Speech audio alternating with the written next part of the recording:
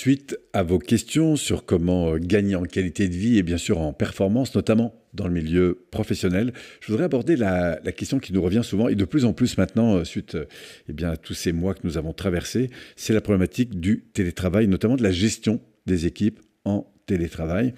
Alors, eh ça, c'est une question qui est, vraiment importante. On la voit beaucoup euh, et de plus en plus. Euh, c'est une préoccupation même hein, de, beaucoup de personnes qu'on a au sein de nos, nos formations.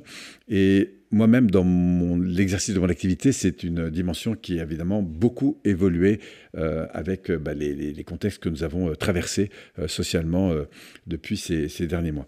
Alors, cette gestion du télétravail, c'est quoi? Ça, ça, m'amène à la chose suivante, c'est que on est à distance. Et comme on est à distance, ce qui va devoir évoluer, c'est la modalité avec laquelle on va interagir avec nos équipes. C'est-à-dire que quand on était là en présence, on est un peu comme un parent qui, qui, qui est là avec ses enfants et qui, qui interagit, un peu comme un professeur dans sa classe qui interagit très directement. On est un peu comme un un entraîneur qui, avec ses équipes, euh, sont là et interagissent euh, très directement. Or là, on va passer dans une modalité où la distance va faire une différence. Pourquoi? Parce que vous allez de l'autre côté de la caméra, très souvent, ou de l'autre côté de votre ordinateur, et moi du mien. Et du coup, on est sur un rapport qui est un peu différent, qui est un rapport euh, moins humain, de fait, puisqu'on est par définition à, distance. Donc, ça va être un rapport sur lequel il y a quelques, quelques, quelques facteurs qui vont être très, très importants, à mon avis, pour un manager, de de, redévelopper. Le premier, c'est cette idée que je suis plus seulement là pour euh, donner des directives. Parce que quand on est à distance, il y a une dimension de coopération qui va devoir euh, être mise en place et qui probablement va participer à l'évolution de notre relation. Pour autant qu'on ait compris en fait ce processus. Et ce que je crois, c'est que la force justement du travail à distance, c'est qu'on va passer d'un management un peu directif, un peu vous descendant, à un management beaucoup plus collaboratif. C'est-à-dire un management dans lequel on va au fond jouer avec trois dimensions. La première, c'est Qu'est-ce que ressent la personne à l'égard de ce qu'elle a à faire ou des priorités qu'elle a à poursuivre? De qu'est-ce qui lui semble possible de faire ou de ne pas faire? Donc on va être plutôt sur un mode de questionnement.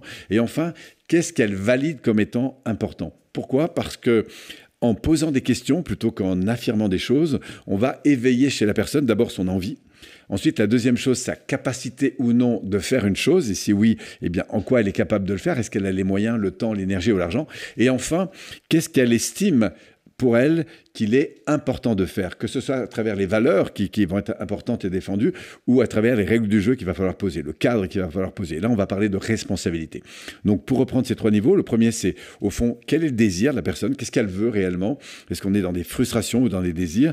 Le deuxième, c'est est-ce qu'on est plutôt sur un mode, euh, on est plutôt sur un mode optionnel? Qu'est-ce qui est possible et pas possible selon vous?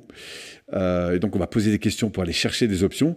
Euh, et puis enfin, on est sur un mode de, validation en termes de responsabilité. Euh, qu'est-ce qui vous semble le plus important? Qu'est-ce qui est possible ou pas, selon vous, à partir de la responsabilité que vous avez? Et donc, du coup, ça nous amène à un management qui est beaucoup plus un management pousse d'ailleurs euh, la fonction de coach à développer, qui est plus un management où je, pose des questions, enfin je, donne des affirmations par exemple, pardon, mais je vais poser des questions pour, euh, pour faire évoluer la personne en fait. Et ça c'est une des dimensions, je crois que, la relation à distance pose beaucoup. Euh, Bien sûr qu'on peut faire des demandes, bien sûr qu'on peut redonner des directives, mais on va surtout avoir euh, cette interaction qui est basée sur, euh, sur des questions. moi, je me rends compte euh, par rapport à mes équipes, notamment, à quel point c'est important de ne pas forcément apporter des réponses, mais d'amener les personnes à en trouver. Je trouve que la, la relation à distance a éveillé cette dimension parce qu'elle nous change un petit peu ce rapport.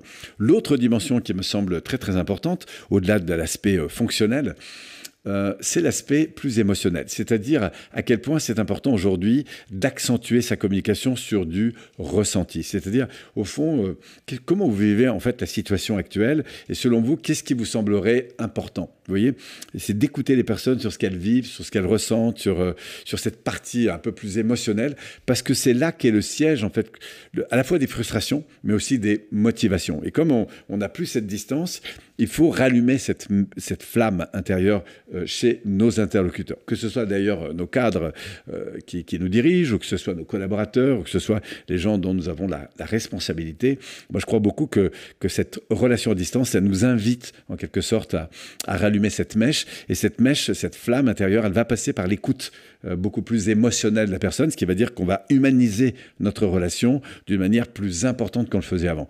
Quand je parle avec des équipes, je démarre une réunion et plutôt que de dire, bon, quel est le sujet du jour, je vais dire, au fond, euh, qu'est-ce qui va nous animer aujourd'hui? Qu'est-ce qui vous porte aujourd'hui à l'égard de ce sujet? Qu'est-ce qui vous semble aujourd'hui important qu'il faut qu'on aborde? Qu'est-ce que, Est-ce qu'il y a d'abord des, questions, des, frustrations peut-être, ou d'avoir cette, cette prise en compte en fait de, cette dimension plus sensorielle. Ça, c'est un axe qui me semble absolument essentiel dans ce management à distance. Et, euh, et pour finir, je dirais que le point important, c'est de développer l'autonomie, c'est-à-dire euh, de renvoyer à l'autre à la fois bah, les valeurs, voilà ce qui est important, voilà ce qu'il faut privilégier aujourd'hui, voilà ce qui est l'objectif. Euh, et puis à partir de là, qu'est-ce que vous estimez qu'il est important euh, de faire? Donc on va, on va privilégier la qualité du lien par l'écoute et la considération. On va reclarifier la direction, où est-ce qu'on veut aller, plus particulièrement, qu'est-ce qui est prioritaire selon moi, selon vous? Et, puis enfin, qu'est-ce qui vous semble aujourd'hui euh, important de mettre en place de différents d'hier pour justement se mettre dans cette dynamique euh, d'évolution et de croissance?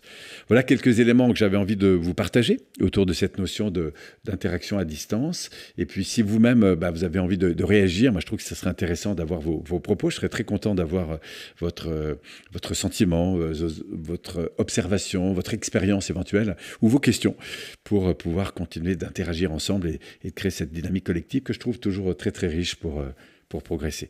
Merci à vous et au plaisir peut-être de vous rencontrer un jour autour de ces thématiques. Merci, à bientôt.